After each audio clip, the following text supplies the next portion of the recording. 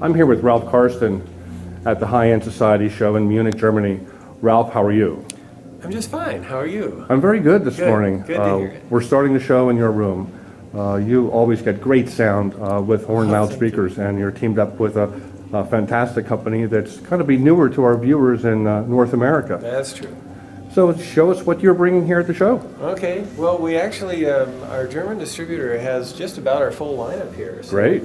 We're listening to the MP1, and we've got the covers off of it here so uh, people can get a view inside. Uh, uh, Dr. Feickert was good enough to uh, lend us a machine, and uh, Thanh Tri Mai of uh, Triplanar has uh, offered us uh, one of his new arms. So uh, we have a very nice analog front end.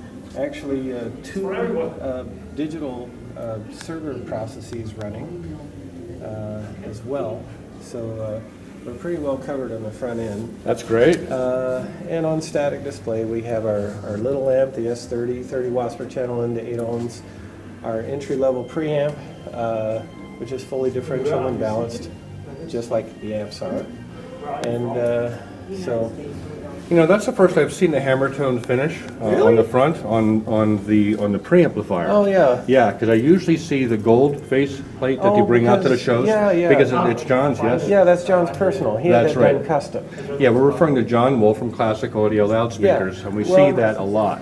You know, um, all our panels on the preamps and also the meter panel on the amplifiers, we do them in custom colors, and we don't charge any extra for it. So Mm-hmm. I didn't that's, that. yeah, that's part of how it is. So this one was done in gold, that was done in black, this one was done in hammer tone. Mm-hmm. Uh, but uh, you know, as you said, John had his done in gold. In for gold? Mm-hmm. his, for his preamp. Uh, we have a set of MA1s over here with the we'll- silver finish. Yeah, let's swing around and take a look. On our way over, we have, uh, And this is a set of M60s, and they have polished stainless meter panels. So, uh, like I said, we do a variety of finishes.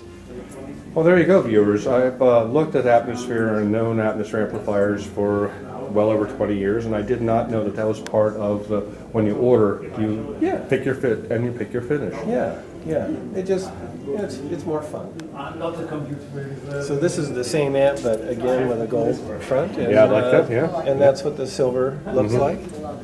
It's actually a natural anodized brush. Yeah, no, that would be the pair I would have in, if I requested. This is actually our most popular. Yeah, I can see why. I like the contrast between the, the brush finish and the, and the matte Yep. hammer tone or uh, You know- texture paint. The company that made this little placard has been in business for 75 years, making placards for the military.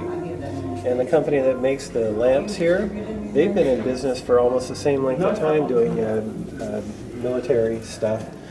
When we created our retro appearance, we actually went and got authentic parts, if you know what I'm saying. Just because it was fun, it was the right thing to do. That's very, You know, very, very so, cool. uh, Very cool. And, and, you know, we wanted it to look like it was some sort of vintage piece that was collectible that you weren't previously aware of. That's very, So- very nifty. So that was, that was how we did this whole thing when we started doing the, the Mark IIs back in the late 90s. Mm-hmm. And uh, we brought that into the Mark IIIs. Now, you've seen John's Novacrons. Yes, I have. Okay. This is the same radiused curve.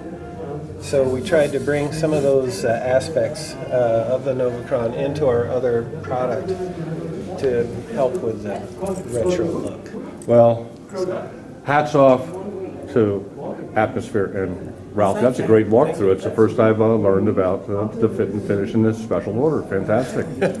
Yeah, there's a lot of other options that are available too. We have, uh, uh, you can get uh, V-cap, uh, Teflon caps, Caddock resistors. So lots of parts upgrades. The wire that's inside, we have custom built Mm-hmm. for our specification. Most of the resistors are anyway. Mm-hmm. Uh, so uh, we also have power supply boost options for the smaller amps.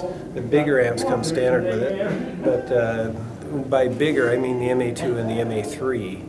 The smaller amps like the MA1 and the M60 and the S30 we can take the power supply capacitance in the output section to an unreasonable amount and you know because you know, audiophiles frequently do this sort of stuff to tweak their equipment. We figured, you know what, we'll offer these options because we've listened to all this stuff. We know what it sounds mm-hmm. like. Mm-hmm. And we were the first manufacturer to offer Caddock resistors.